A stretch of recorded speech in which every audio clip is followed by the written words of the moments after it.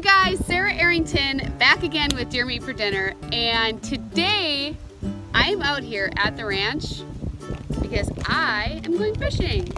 This is a new rod as you can see and it's very windy out so I hope you can hear me. But Rob's in Costa Rica and I've been craving fish like you wouldn't even believe. And Aria loves fish. She's actually with me on the Polaris right now. So I went to Walmart and picked up the absolute basics. Here's my receipt. I spent $69.57, including the rod and reel, everything done. Oh, and the cows come over because they think I got food or something. it's not food. Check this out. It's not food. It's just plastic. How funny. Okay. I got these pliers, six bucks. Okay. This rod comes with a reel and it has mono on it. Ask me what pound it is, I wouldn't be able to tell you because I have no idea.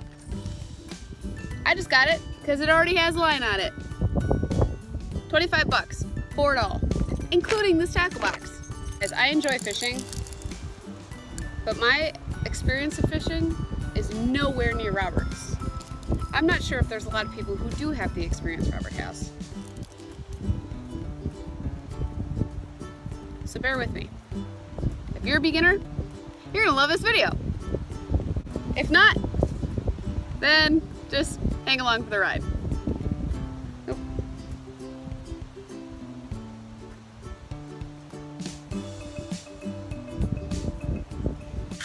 I got Eagle Claw, size 2 and size 4. And it even says light wire panfish on it. So I'm gonna start with 4, it's a smaller hook, because I really don't even know what's in this pond. I've never fished here. I don't know what to expect. So even if a small one bites, I'd rather be able to catch it than miss one. Okay, and Rob ties knots like a knot champion. I, to this day, can still not tie a knot like Robert. So what I do, uh, okay, so what I do, I put the line through the hook, put it back up, and then I kind of hold it at the top, and you just twist your hook so that the line starts twisting as well. Then you take your open end, slide it in this big loop you just made,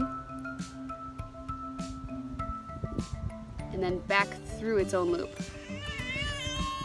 And pull it tight. And Aria's not happy right now. Slide it down.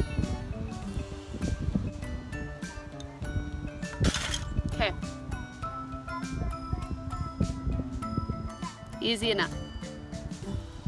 Now, bought these bobbers for like a buck something, super cheap. And they have a whole bunch of different sizes, so I'm gonna use like a medium one. This top depresses, you just push it down and then you see a little hook. I don't know if y'all can see that. And then you put your line through the hook. If you want it to really stay, you can twist your line around the hook and then it won't slide up or down. Then I got split shot weight. This is a 32 ounce. They kind of look like a Pac-Man if you want to think of it that way. I'm going to put the line in the Pac-Man's mouth. And you can use your teeth, which a lot of people do, or a pliers, and just crimp it shut. Just like that. Okay, so I got my bobber, got my split shot, and my hook. Now, for the bait. Also from Walmart, I got 18 night crawlers and 30 big red worms, which were like a couple bucks each. Cheap, cheap, cheap. Okay. That is a big worm. Pinch them in half. Don't be a girl about it. Take your worm and just keep, yeah, they're gonna juice out. No big deal. And just keep putting it on the hook so that it's on there, but it still dangles off a little bit. Looks mighty tasty. And this thing on the top of your reel controls your drag. So if you want a lot of drag, you crank it to the right. Then it's really hard. But in this case, we don't. If you have a lot of drag, typically the fish will just break off. We just need it nice and loose so if they take off, they can run with the line. You don't want it too light because otherwise you'll never reel them in. You need some, but you just need to find the right amount. Now let's see if we can catch fish.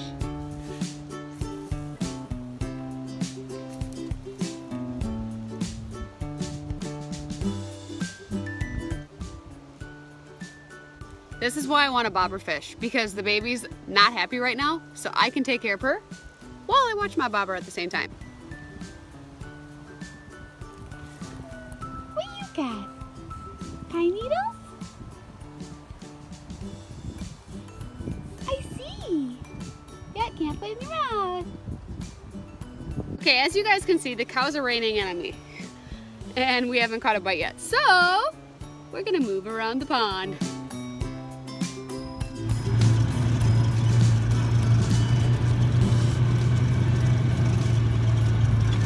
All right, I'm gonna switch to night crawlers too. You just want like that much of one.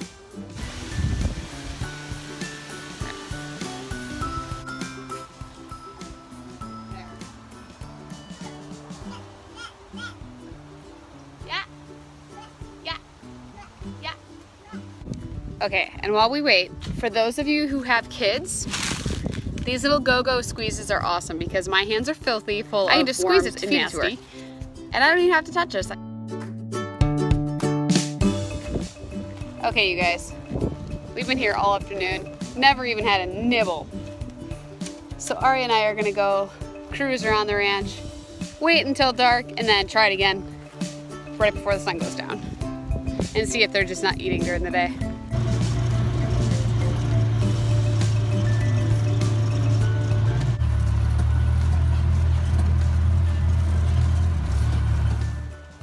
All right, it's almost six o'clock and we just got back to the pond and it looks absolutely beautiful. So if I can't catch a fish, then I don't know what to tell you. I'm gonna switch back to these red worms.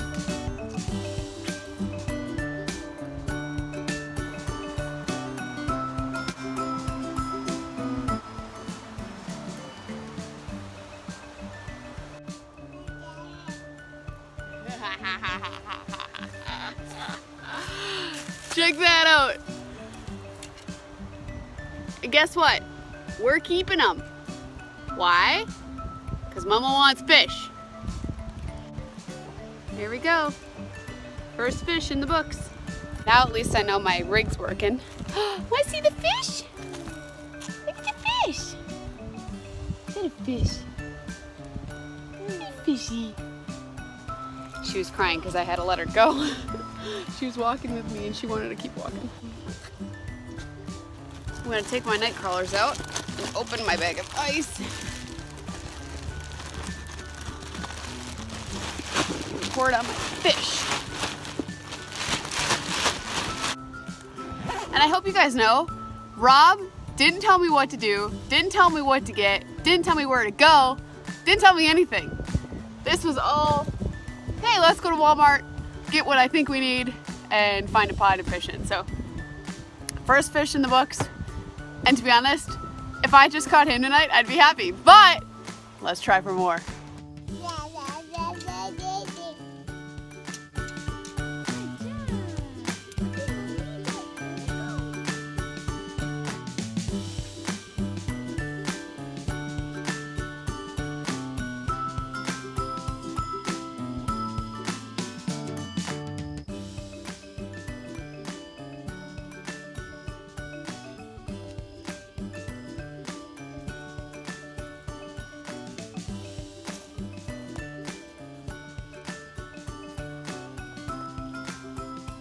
You guys, I was reeling him in so I could move my worm. And he ate it right as I was reeling, reeling him in. Awesome! This bluegill is definitely, definitely going in the Engel backpack. That's a nice sized bluegill.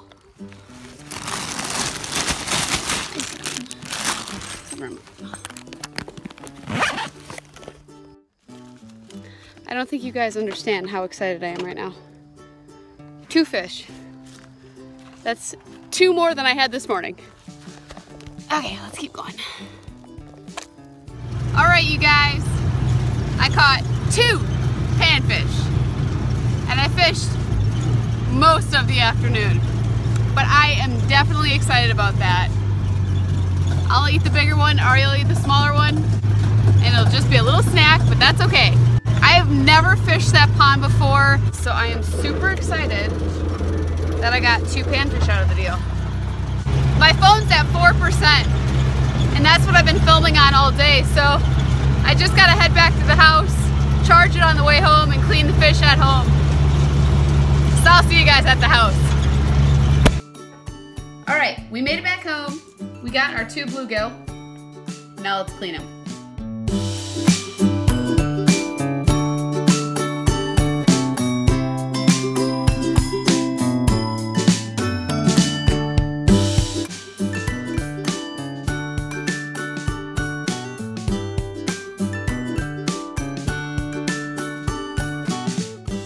Rinsed my fish. There you have it, you guys. Four fillets, cleaned and ready to cook. All right, I got some Everglades breader in a bag. I'm just gonna throw them in the bag. And bread it. No flour, no egg, nothing. All I did was put vegetable oil in this pan and I'm letting it get hot. And I'm trying to hurry because Ari is getting very tired, you guys.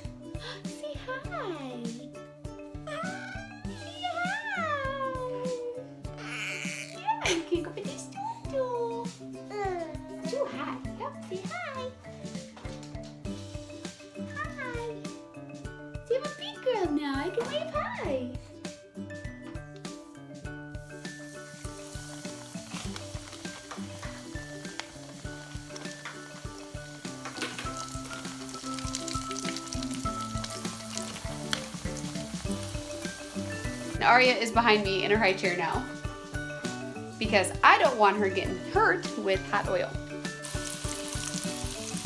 That smells so good.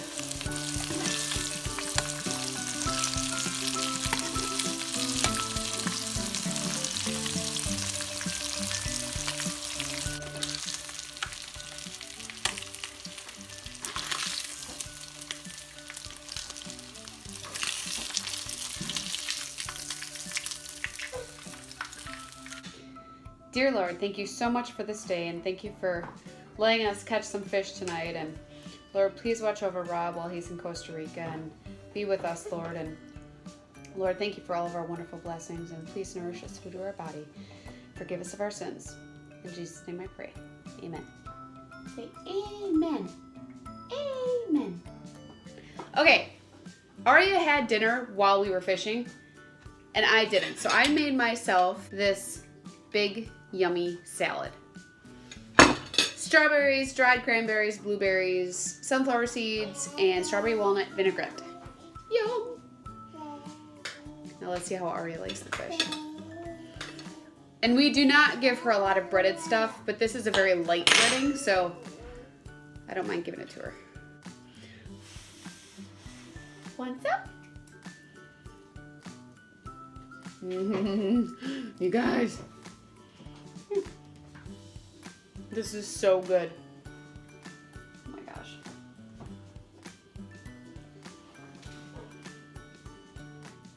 It's fish.